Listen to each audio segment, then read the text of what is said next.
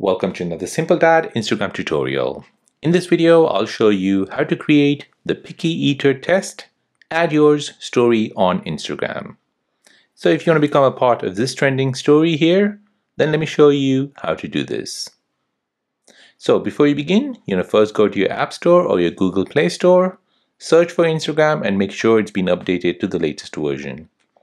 Once that's updated, you want to go ahead and open up Instagram then you want to tap on search here at the bottom and you're searching for this account.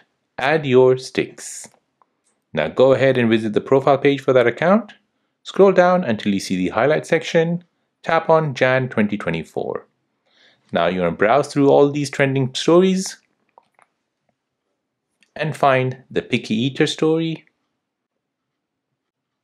Now this is the Picky Eater test. Add your story on Instagram. So to become a part of this trending story, go ahead and tap on add yours.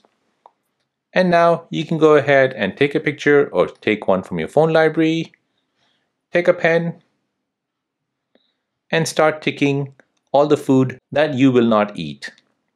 You get one point for every food which you have ticked. And once you've done that, you can go ahead and post your results to your Instagram story.